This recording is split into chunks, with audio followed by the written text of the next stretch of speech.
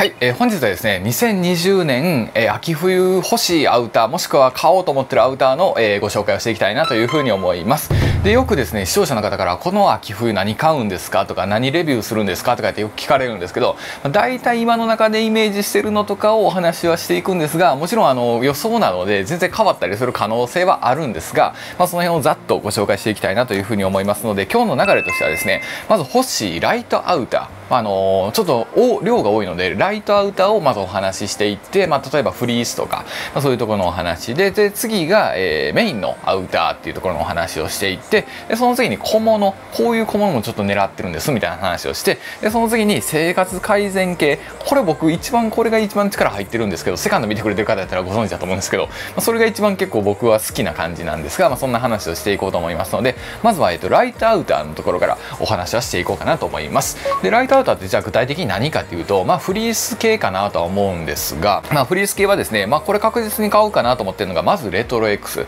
もうこれはまあ確実に買うやろうなというふうに思ってて、まあ、今回レビュー用にあの買おうとは思ってるんですが、まあ、嫁も持ってるし、まあ、女子で来たらこんな感じ男子で来たらこんな感じみたいな感じの動画を作ろうかなと思ってて、まあ、購入は考えてます、まあ、なので購入するためにいろいろうろちょろはしてるんですけど、まあ、なかなかオンラインで買おうと思ったらオンラインめちゃくちゃすぐ売れるんですね。でもこれもなんか誰が買ってんねんって思うぐらいめっちゃ早いんでもうなかなか買えないんですけどまあ多分店舗に行けば普通にまあ毎年買えるので、まあ、8月9月であれば全然買えるとは思うんですけども10月以降とか11月本格的に寒くなってくるともうレトロ X もなかなかあの品薄になってくるので、まあ、人気の色とかは早めに狙ったら買えるんじゃないかなと思って買おうかなと思ってます、まあ、それ以外にやったらパタゴニア系のフリースはあと何点かちょっと狙っててでまあそういうのもいいかなとは思ってるんですけどまああのそれもあの要望とか皆さんのリクエストとかがあれば、まあ、その都度購入していくという流れになると思いますので、まあ、今回紹介してるやつが全部っていうことじゃなくて、まあ、それ以外にも買うとは思うんですけど、まあ、そんな感じであったりあとよく聞かれるのノースフェイスのあのフリースとか買わないんですかとか聞かれるんですけど、まあ、一応レビュー作るために買うのは全然いいのはいいんですけど僕個人的にはもうあのポーラテックじゃなくなったんで全く魅力感じてないんですよね。なので、まあ、レビュー作るためには買うかもしれないんですけど、まあ、僕が一応持ってるのはデナリとかあのそういうフリースはポーラテックを使用してるのであの長く着用できるなと思って気に入ってはいてるんですけどもうその2019年か18年ぐらいからもうフォーラテックじゃなくなってるので全く興味はないんですけども、まあ、一応レビューで作ってほしいっていうお声があったりとかするんであればあの購入させてもらおうかなというふうに思ってますので、まあ、一応アウターとしてはそんな感じライトアウターはそんな感じであとゴアテックスとかの暴風系とかっていうのももうほとんどあるんですよね家に。なので、まあ、要望があるんやったらまあ購入しようかなと思うんですが今の現段階でもうゴアのこれを買うっていうのはなくてまあとまあほとんどあるからまあええかなと思ってて5話はちょっとスルーしようかなと思ってるんですが要望があればまた考えたいなと思いますというのがライトアウターになってまして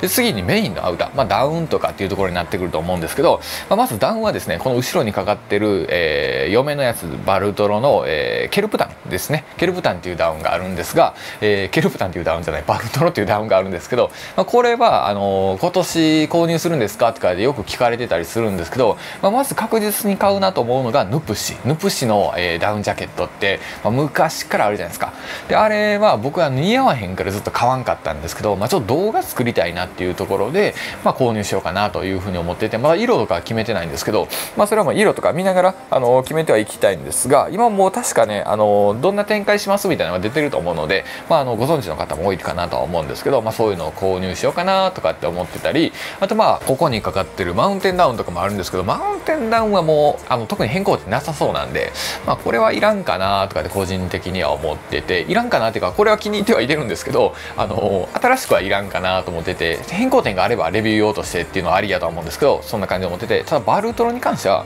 バルトロン僕あんま必要僕は個人的にはいらないんですけど、まあ、嫁があの欲しいっていうのはどっかの動画でも言っててですねデート Vlog かななんか言ってる時とかでもバルトロ欲しいんだって言ってたんで、まあ、バルトロじゃあそしたら買おうかなと思っててで、まあ、ついでにあのレビューはすると思うんですけど、まあ、それをクリスマスプレゼントにしてほしいんだって言われてるので、まあ、そうやったら買おうかなとは思ってるんですが一応まあ色はまだ決めてないらしくてあのまあ黒黒とかがいいねんけどなとは言ってたんですが今年出るユーティリティブラウンっていう色味も気にはなってるみたいなんで、まあ、そのどっちかを購入するんじゃないかなと思いますちょっとサイズを変更したいらしくてこれが XXS っていうサイズなんですけどもう1個かもう2個ぐらい大きいサイズで買おうかなというふうには思ってると言ってました。えー、買おうかなっていうか買わせようかなと思ってってるんでしょうね。多分僕に。はい。という感じなんでまあバルトラは買うと思います。はい。ということになってて、えー、それ以外にはですね他何かっていうと、まあ、他のノースフェスのダウンもアンタークティカとかもどうしようかなとかって思ってたりするので、まあ、その辺とかもしかしたら買う動画作るよとして買うかもしれないんですけど、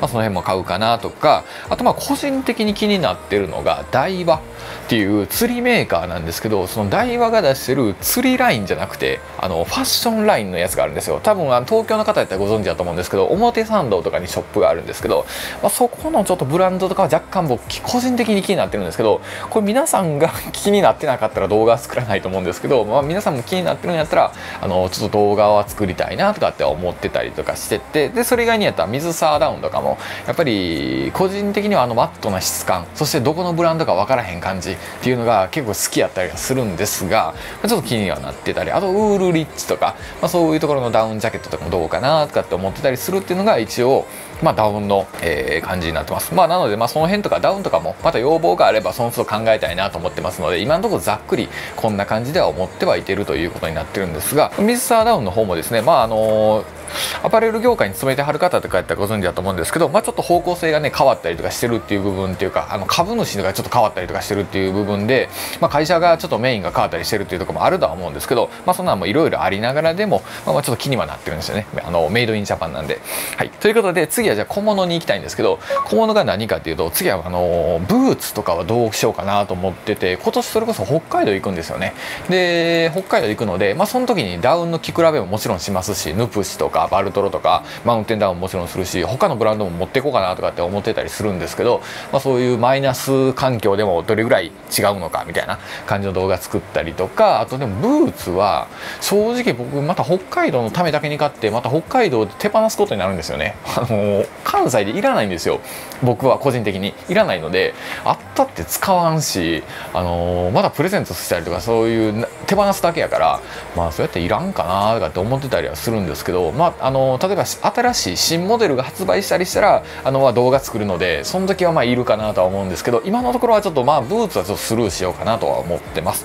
でそれ以外にやったら手袋。とかもあの、まあ、結構各ブランドから出てるじゃないですか。だからそんなんとかもちょっと作ってみたいなとか思っててそれこそこの夏に結構カバンを作ったんですよね。カバンの動画を作ったりしたんで、まあ、ボディバッグとかリュック系は結構揃ってはきてるので、まあ、それやったら、まあ、手袋をちょっと次は、まあ、何社かこう比べたりとか、まあ、そんなんしても面白いかなとかって思ってたりするので、まあ、手袋なんかはあのやってみようかなとか思ってます。はい、というのがまあ一応ファッション関係になってますので、まあ、パンツとかはどうなんていう方もいらっしゃると思うんですけどパンツがまあその都度おいおい、あのー、まあ、買ってっていったりするんかなとは思うんですけど今のところはこれを絶対買うっていうのは今はなくてあのまあその都度こう見ながらあこれ今ちょっと面白そうやなとかこれちょっと動画にしたいしてみたいなとかっていうのがあるんやったらあの作っていきたいなというふうに思ってます。という感じになっててですね、えー、次に、生活用品。もうこれがちょっと僕の中で一番力入れさせてもらってるところなんであのファッション系ではいてるんですけどもファッション系なのか何系なのか分かりませんけど、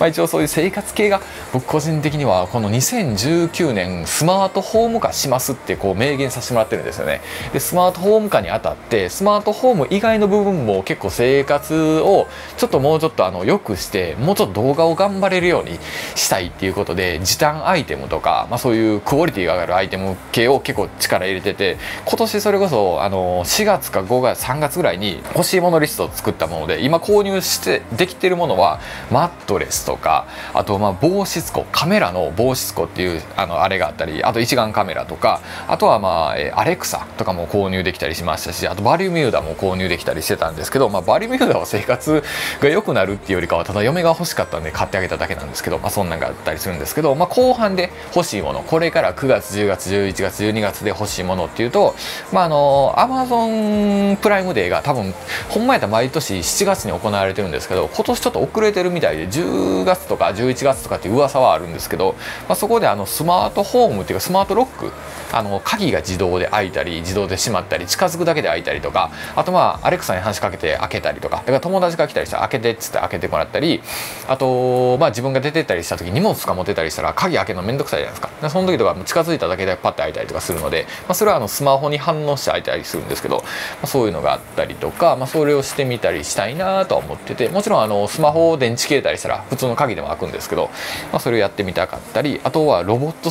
お掃除ロボットですね。あのー、ちょっとお掃除ロボットをして掃除機かける時間をなくして編集にちょっと時間を当てようっていうあのたった10分とかなんですけど10分間掃除かけてる間に「ああ疲れた。よし横なろう」ってなっちゃうじゃないですか。だからそれ時間作業時間も10分なんですけど集中力切れちゃうのでもうそれやったらもうあのアレクサに話しかけてお掃除ロボットに全部回らそうと思ってるので、まあ、それは多分買うと思います、はい、でそれ以外には洗濯機ですね。でこれ洗濯機が僕結構平凡な一日でよく洗濯してる様子をあのご覧いただいてると思うんですけど、まあ、あれもちょっと結構時間かかるじゃないですか。あの何ていうんですか干すのってその大したことないんですけど干すで待つ取り入れるっていうこの作業をなくしたくてでドラム式洗濯機にしたらもう全部それが、あのー、洗濯ボタンを押すだけで洗ってくれるし乾かしてくれるしシワも伸ばしてくれるのでもうた、あのー、畳むだけなんでめちゃくちゃ時間効率省けるのでその間にセカンドチャンネルとかも撮れるしこのメインも撮れると思いますのでちょっとこの辺は導入あの確実にするやろなというふうに思ってるのでなんやったら服よりもこっちのもうちょっといかにどこでタイミングで導入するかっていうのをちょっと考えてますので、まあ、そんな感じで、えー、っとスマートロックと、え、お掃除ロボットと、え、洗濯機えー、ドラム式の洗濯機、まあ、この3つはどうぞ導入しようかなというふうに思ってます。ということになってますので、まあ、以上今回、えー、結構何買うんですかって聞かれること多くて、まあ、何買うってその都度その都度ちょっと考えてはやってるんですけど、あのー、まあ、大体、まあ、あの王道なラインっていうのはちょっと一旦ここは抑えようかなと思ってますので、はい。まあ、そんな感じでいこうかなというふうには思ってます。まあ、なんで、あの王道なラインを抑えにかかってんねやとかっていう話は、まあ、また気になる方はセカンドチャンネルとかで多分ぼちぼち話していくと思うので、